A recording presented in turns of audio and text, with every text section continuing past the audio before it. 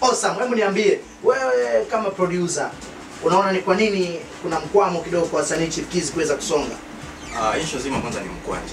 Unajua unapofanya kazi, yani unapofanya biashara, niseme labda hivyo, lazima uwe na mtaji. Sasa muziki sasa hivi umeshakuwa kama biashara, unajua ili uweze kufanya biashara lazima uwe na mtaji. Sasa ninacho- ninachozungumzia kama mtaji ni kwamba kwa ajili ya kuipromo ngoma yako, umeshafanya ngoma yako, unajua? Kuna vitu vingi kwa ajili ya kuvifanya ili ngoma yako iweze kusikika, unajua ifike yani kwa wadau. Mambo mengi yani of course kuna pesa kulipia studio. Wasanii wengi unakuta mtu ana uwezo pesa kulipia tu studio na hana. Kwa hizo nazo ni changamoto mojawapo ambazo wanakutana nazo